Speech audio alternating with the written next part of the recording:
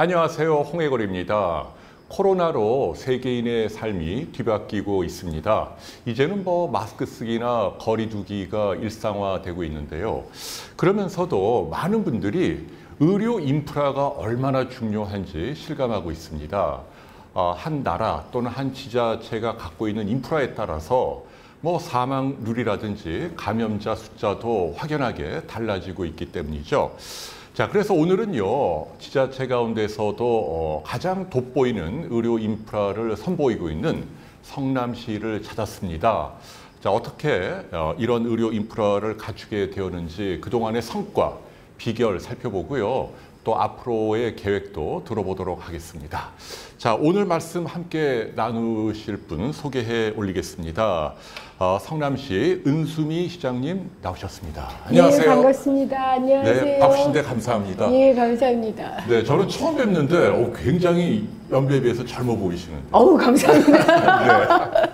네. 자, 그리고 어, 의료진 입장에서 성남시에서 활동하고 계시면서 또 어, 성남시에서 어, 계속 주관하고 있는 컨벤션에 대해서도 좋은 말씀 어, 해주실 분이죠. 분당 재생병원 손정환 과장님 나오셨습니다. 안녕하세요. 반갑습니다. 네. 아우 이- 이렇게 좋은 자리에 초대해 주셔서 감사합니다. 네. 어. 저는 사실은 그 명색이 의학 기자인데 성남시 의료원은 처음 와봤어요 오늘. 아니, 그러셨단 오, 말이에요. 대단해요, 대단해. 예전에 여기가 이제 시청에 있던 자리인데 완전히 상점벽해고 무슨 뭐 서울의 빅5 병원을 연상케 하는 아주 그 멋진 인프라들이 이렇게 갖춰졌는데요. 근데 이 병원이 공공 의료를 표방하는 곳이잖아요. 네, 네, 성남 그렇습니다. 시민들에게는 뭐 굉장한 그 도움이 되는 그런 병원인데 어, 시장님께 좀 여쭤보고 싶어요. 이렇게 공공 의료에 대해서 원래부터 관심이 많으셨나요?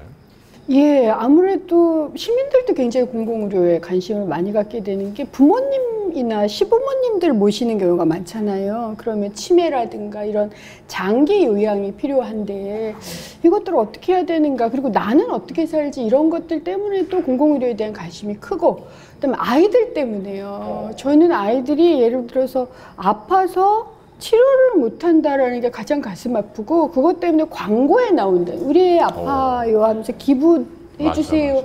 이런 것은 없어져야 되는 거 아닌가. 우리가 선진국인데 이런 음. 것 때문에도 굉장히 관심이 많았는데 마침 성남시에 왔더니 음, 음. 의료원 건립이 저한테 음. 이제 떨어진 과제였어요. 특히 좀 자랑스러운 게 코로나가 전면화되면서 저희들이 오픈도 연기를 했어요. 어허. 연기를 해서 처음에는 감염병 전담병원으로 있다가 올해부터는 전면적으로 그 거점 전담 병원으로 해서 그렇죠. 164병상을 열어놓고 와. 80명의 이제 의사들이 협진을 하는 방식으로 해서 한 3,500여 명 확진자들이 지금 퇴원을 하신 것으로 알고 있거든요. 3,500여 예, 분이나. 예. 어. 코로나가 그래도 역시 예. 성남시 의료원을 돋보이게 만든 큰 계기가 되지 않았나 싶은데 아, 제가 아까 입구 잠깐 보니까 감염 환자가 올라가는 트랙이 따로 있더라고요. 예. 앰뷸런스에서 내려서 엘리베이터 타고 올라가는.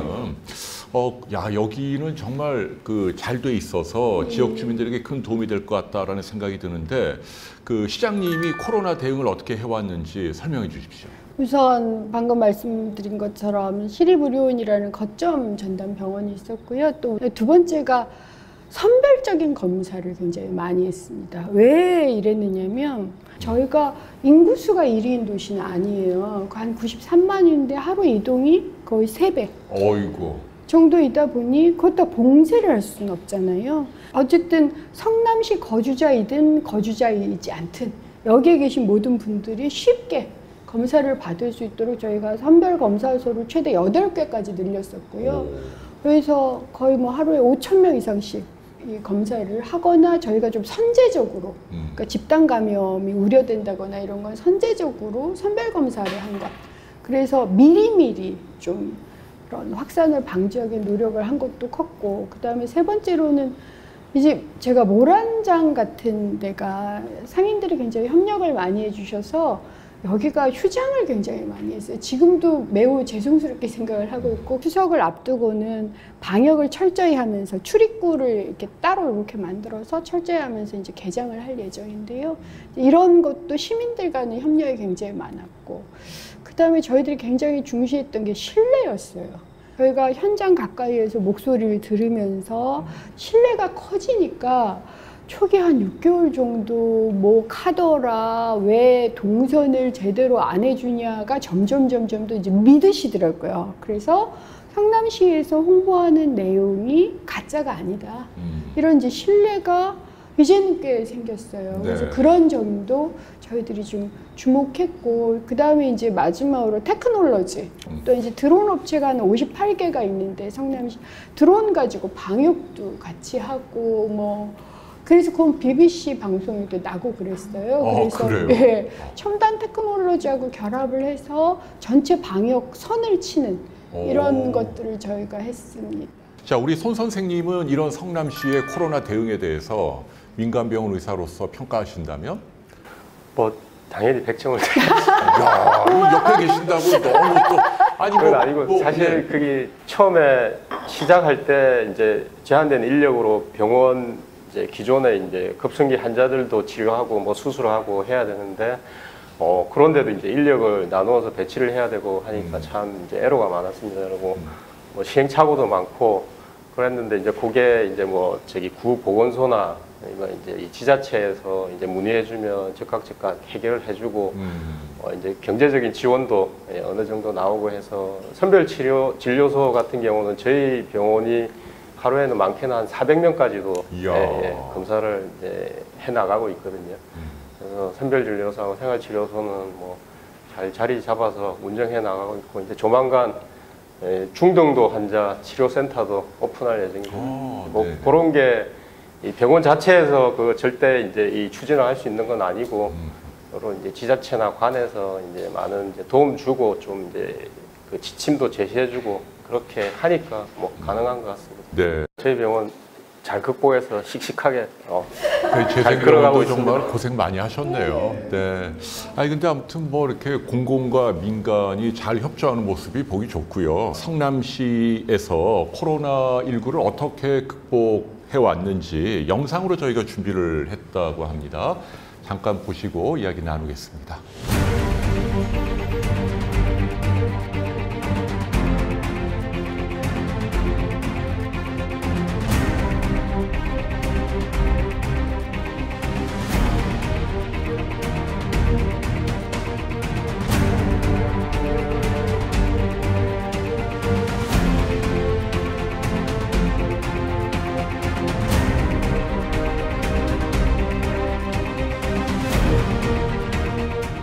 네, 영상을 보니까 다른 지자체에서 하지 못하는 다양한 일들을 많이 해내고 계시는 것 같고요. 그 중에서도 특히 의료 컨벤션이 눈에 띄는데요.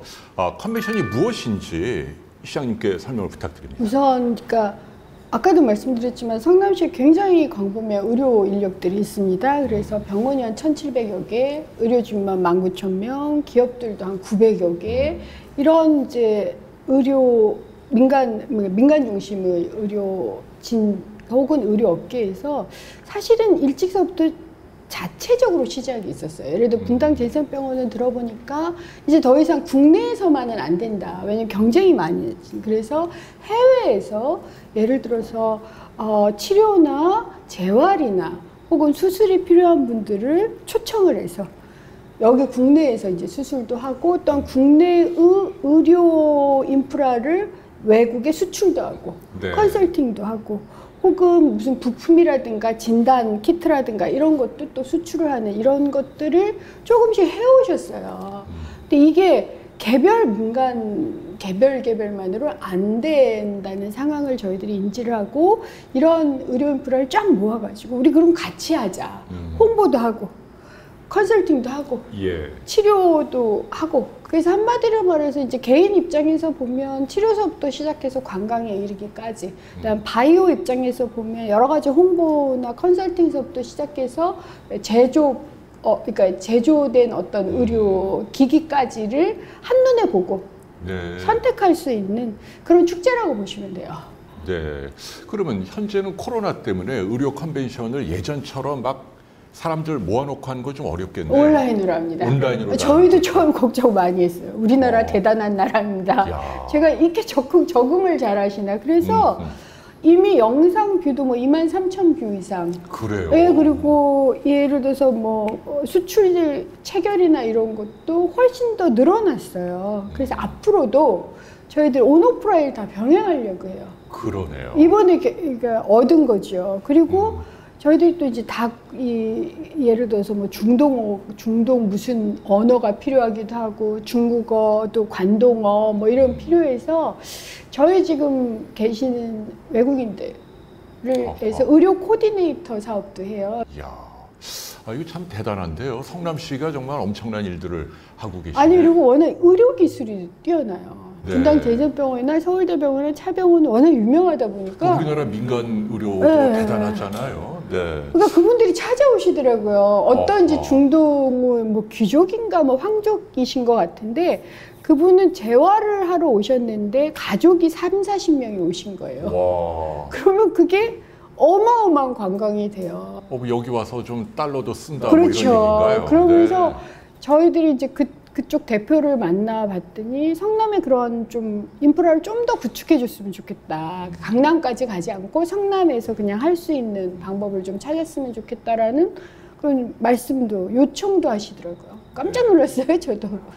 우리 손 선생님께서는 그 이런 그 컨벤션에 대해서 어떤 기대를 갖고 계시나요? 그다음 사실 이게 이 컨벤션이라는 게 이 성남시에서 이렇게 뭐 주최를 해서 저희 병원에서 이렇게 참여를 이제 했지만 어 이제 저희 병원 국제 진료 사업 팀에서 외국에서 하는 컨벤션에 여러 번 참여를 했었거든요. 참여를 했는데 뭐 그때는 어웨이 경기를 하는 뭐 생각이었다면 어. 느낌이었다면 지금은 이제 우리 홈 홈구장에서 들어오는 이제 이 뭐 이제 에이전시나 뭐 환자들이나 이제 의사들이나 업체들을 이제 와서 직접 보라고 어 하니까 훨씬 이제 효율적으로 어 홍보를 할 수도 있는 것 같고 네. 아니 근데 재생병원이 또 국제 진료를 원래 좀 많이 하던 곳이잖아요. 요즘 어떤가요? 제가 놀란 건 저기 뭐 구 이제 러시아 연방 뭐 국가 예, 음. 그런 중앙아시아 국가들이나 뭐 러시아 이제 그런 데서는 환자들이 진짜 이주 격리를 무릅쓰고 옵니다. 와. 그렇게 해서 어, 비행기 타고 와서 2주 격리하고 검사 받고 해제되는 날 바로 진료 진료 보러 와서 미리 이제 정해진 수술 스케줄에 따라서 수술 받고 이렇게 음. 가고 그거를 이제 이 코로나를 무릅쓰고라도 하겠다고 그러니까 이제 그게 이제 우리나라 이제 의료 수준의 위상인 것 같습니다. 주로 어떤 질병 쪽으로 많이 오나요? 어, 뭐 저희 병원 같은 경우는 뭐 제가 하는 이제 비뇨기계 비뇨기계 종양 수술 그런 어, 환자들이 암 이제. 예, 예. 아무래도 이제 이 그 수술 기술력이 좀 이제 높은 수술을 그쪽에서 못 하니까 이제 환자들이 오게 되고 어, 뭐 저희 병원 같은 경우에 척추 수술 그다음에 어. 뭐 심장 쪽으로 이제 검사하러 오는 그런 환자들이 이제 많은 것 같습니다. 그렇군요. 성남시도 이런 국제 진료를 지원하고 계시죠? 예, 저희들이 이제 그 컨벤션을 연 주요한 이유도 그거예요. 음. 그래서 이거 이제 개별 병원이 하면 아무래도 비용도 들고 음, 음. 근데 이걸 판을 깔아버리면 여러 업체가 같이 효과를 보세요. 그러니까 재생병원에 수술하러 오셔서 거기서 또 이제 또 수술 끝나고 나서 계속 계시잖아요. 음, 음. 그러면서 의료 여러 가지를 좀 경험하시고 다른 관광도 하세요. 그래서 이런 걸 좀 저희들이 좀 잘할 수 있도록 음. 거기에 이제 바이오 허브라고 그래가지고 그런 네트워크를 형성하는 이제 공간을 지금 만들고 있습니다. 음. 그런 것도 할 수 있는 힘이 이런 의료 컨벤션을 같이 해본 경험이라고 할까요? 어. 그래서 소리 소문도 없이 성남이 바이오의 핵심이 됐더라고요. 스타트업 기업들이 병원하고 같이 결합을 해서 이게 필요하거든요. 임상이 필요하니까 의사 선생님들하고 협업을 하는 이런 것도 같이 할 수 있도록 저희들이 좀 적극적으로 의료 컨벤션만이 아니라 바이오 허브를 만들기 위한 지원을 본격화하고 있습니다. 네. 야, 저도 이 명색이 의학 기자인데 어, 이런 걸 다 처음 듣네요 오늘. 예, 꼭 알려주십시오. 자, 이제 마무리를 해야 할 시간입니다. 아, 오늘 아무튼 제가 받은 느낌은 공공, 그 다음에 민간이 이렇게 서로 조화를 이루면서 의료 인프라를 키워나가는 지자체에서 말이죠. 이런 모습들이 상당히 돋보였는데요. 아, 이제 그 앞으로의 계획이랄까요, 포부랄까, 이런 걸 좀 여쭙고 싶어요. 어, 먼저 손 선생님께 좀 잠깐 여쭤볼게요. 선생님은 민간 병원 의사로서 뭘 말씀하시고 싶으세요? 아까 말씀드렸지만 이 컨벤션 행사가 더 잘 돼서 뭐 점점 이제 큰 행사로 이제 되게 되면 어 이제 국제 진료 환자 유치하는데 뭐 많은 도움이 될 것 같습니다. 알겠습니다. 자, 이제 마지막으로 은수미 시장님께서 포부랄까, 계획이랄까, 또는 시민들께 하시고 싶은 말씀 해주십시오. 저희가 이번 K방역 경험을 가지고 K의료로 확대하고 성남시를 그런 K의료의 이제 메카로 만들 생각인데요. K의료의 어떤 그 상징으로 성남의료 쪽을 이 확산할 수 있도록 저희들이 더 노력하겠다. 더 응원하고 어, 그런 플랫폼을 좀 적극적으로 확대하겠다라는 약속 드리고요. 저희들이 마- 정말 의료진께 감사드려요.